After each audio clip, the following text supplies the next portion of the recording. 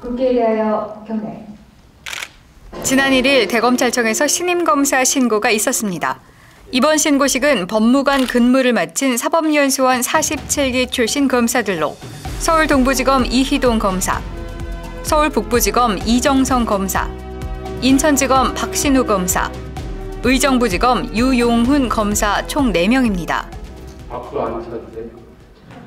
이날 조남관 검찰총장 직무대행은 가장 먼저 그동안 물심양면으로 함께한 가족들에게 감사 인사를 전했습니다.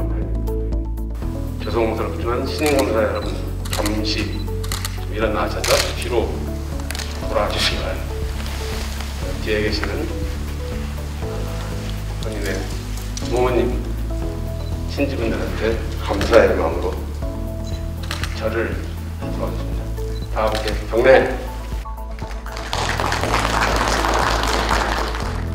이어서 신임 검사들을 위한 덕담과 당부의 말도 함께 전했습니다.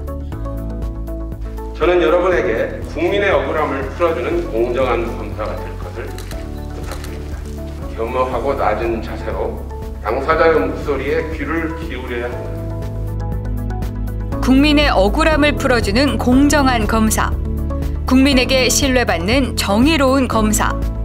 실체적 진실을 발견하고 인권 옹호에 힘쓰는 검사가 되어주길 당부했습니다. 이제 검사로서의 첫 발을 내디딘 신임 검사들은 굳은 의지를 밝혔습니다. 정직한 검사 되기 위해서 노력하겠습니다. 화이팅! 조금 더 노력하고 조금 더 저를 희생하는 그런 검사가 되겠습니다. 감사합니다. 화이팅! 묵묵히 맡은 일을 수행하는 정의로운 검사가 되도록 하겠습니다. 공명정대함을 제일 많이 추구할 수 있는 그런 정의로운 검사가 되고 싶습니다. 앞으로 4명의 신임 검사들은 각자의 자리에서 국민을 위해 최선을 다할 계획입니다. 화이팅!